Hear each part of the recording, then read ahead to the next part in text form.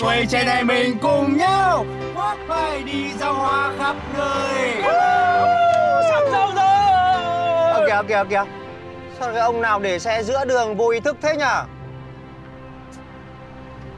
Kìa Chúng mày nhìn kìa. Mấy thằng kia định làm gì đây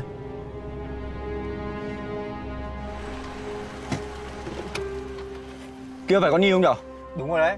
Mấy thằng danh con dáng xăm trêu gái làng bố mày à anh em, tới luôn Ôi nhờ Đi ra đi Không thích ra đi Em ơi Anh không đùa đâu Này, người kia Thích chiếc gà đang tao không hả? Mày Đứng lại À, ai ơi, ai ơi, ai ơi, ai ơi, ai Chị làm gì đấy? Mày vừa đi đánh nhau về đúng không? À, đánh nhau bao giờ? Ai bảo chị thế? Thì anh Thắng bảo tao thế À ông Thắng lại hớt lẻo. Ôi. Không hiểu sao tôi lại có ông anh rể hãm thế không biết. Anh Anh đâu? Đừng đánh nữa anh. Anh Thôi đi. Anh Bỏ ra.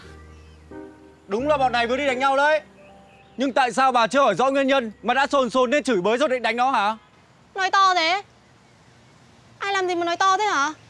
Cút đi Tôi đến đây uống nước Trả tiền đàng hoàng. Sao tôi phải cút? Tôi không bắn cho cái mặt ông Ông cút đi trước khi tôi điên rồi đấy.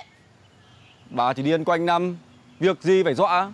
Bố Lại vừa ra dọn hàng cho chị Hoa đúng không? Không phải việc của mày. Ý, Nhìn cái mặt đang yêu kìa Ghét chá chịu được. Đâu xem với nào. Xinh thật sự. Ừ. Nhưng với cách quan tâm của bố với chị Hoa như thế Chị Hoa chị không thích đâu. Bố còn non mà xanh lắm. Cố gắng làm, dành dụm ít tiền.